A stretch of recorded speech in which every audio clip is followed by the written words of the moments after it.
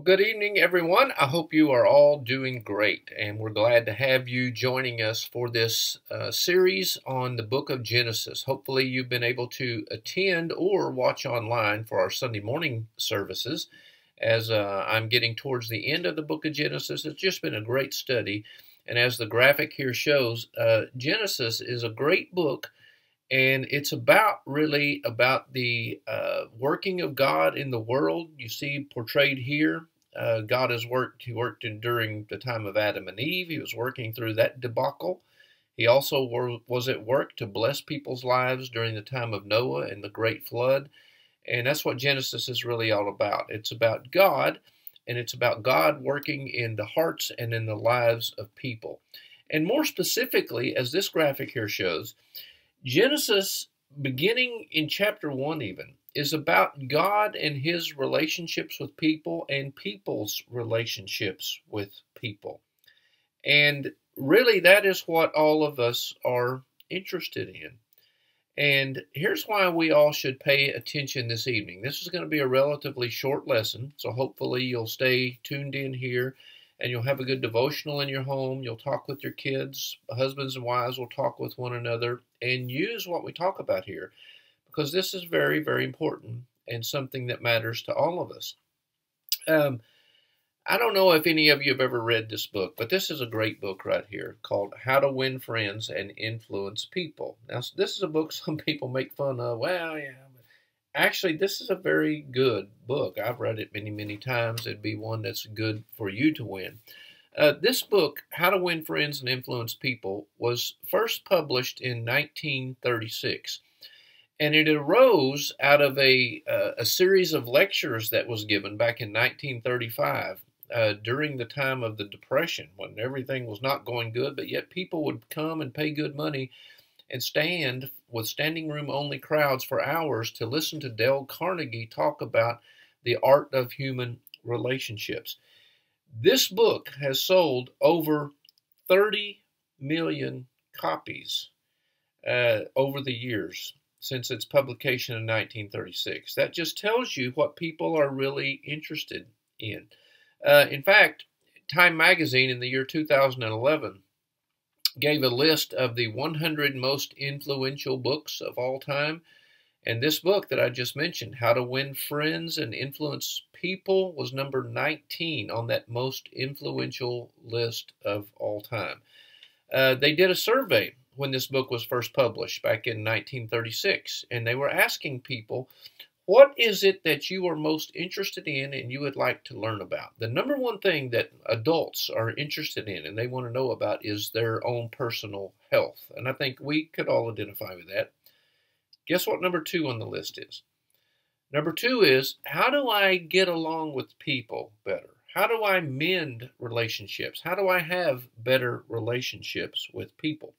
And what they discovered was that there was no textbook at the time back in 1936 for the thing that people are the second most concerned about. There was no textbook on it.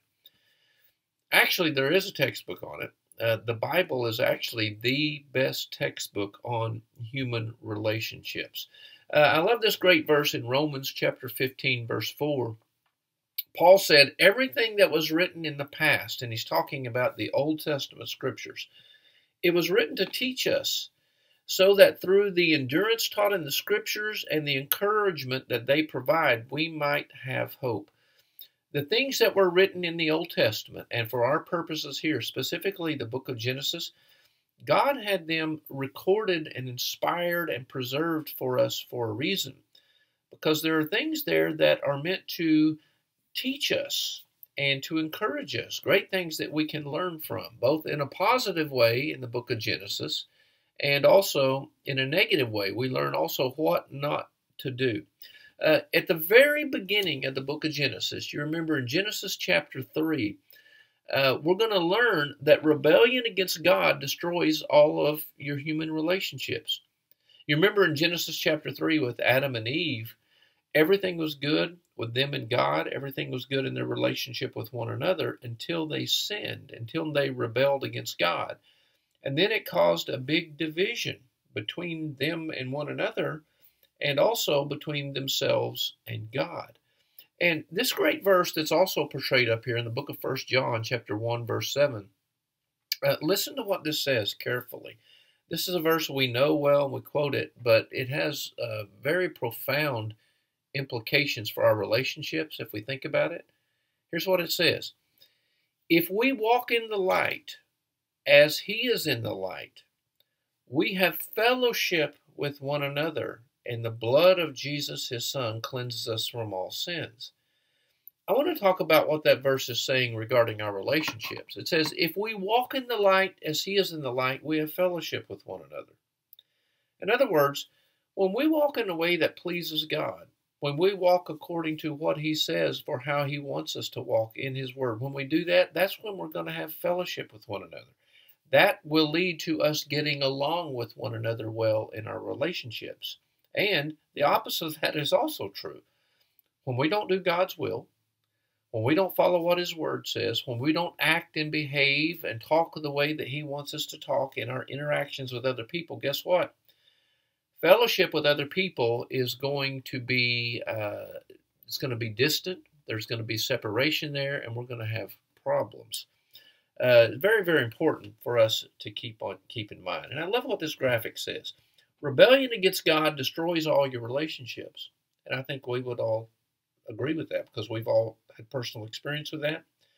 And then it also says humility heals them. If you're having problems in your relationships with some people right now, in fact, I'm 100% sure that applies to everybody. We all have problems in that area from time to time. What's going to heal it? Humility.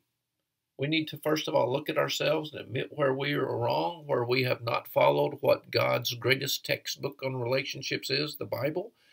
And we need to be humble and confess our sins and then go about doing what God says to heal those relationships. And Genesis is really all about relationships. You have a list here that I've compiled. This is not a comprehensive list, but it's a list that we all know about of relationships in the book of Genesis. Adam and Eve. And their relationship was great at one time, and then it was tarnished. Their relationship with each other was tarnished, and the relationship with God was tarnished because of sin. Cain and Abel. Uh, Cain killed his brother Abel. Why? Because he wasn't doing what God said. He wasn't living according to God's will. Abraham and Lot had a strained relationship, but Abraham took the high road. And then there's this relationship between Abraham and Sarah and Hagar Hagar, you remember, was the handmaid of Sarah, and it was Sarah's idea for Abraham to impregnate Hagar in order to have a son because they both didn't really believe that God was able to carry out his promise. And that brought all kinds of negative consequences because they didn't do what God wanted them to do. Isaac and Rebekah is an example in Genesis chapter 24 that I preached on several weeks back of a, a, a good relationship. Uh, it's how to go about having a good relationship. How do you initially get into a good relationship? And this was about how Isaac had uh, relied upon God and God's leading, and the angel of God who went before Abraham's servant to go and find a wife for him, Rebekah. Just a powerful, powerful passage in Genesis chapter 24.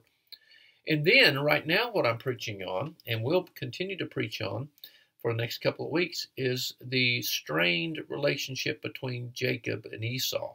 And it was strained because of Jacob's own sin. I mean, Jacob is one of the great people in the Bible who was later renamed Israel. But Jacob, uh, he was a he was a, a piece of work. uh, he was a con man. He was a, a somebody who would trick you and deceive you and con you out everything you had. And God had to work on him and change him, and He did and his own sinfulness caused terrible uh, conflict between himself and his brother Esau. And then we have Jacob and his two wives, and that was the result of bad relationships with his uh, future father-in-law Laban. Uh, Laban tricked Jacob, you might remember, which was probably payback for Jacob tricking his brother Esau out of the blessing and out of the birthright and uh, he was he worked all these seven years in order to marry Rachel, and then the father-in-law gave him Leah, and then he had to work another seven years to get Rachel. You remember that?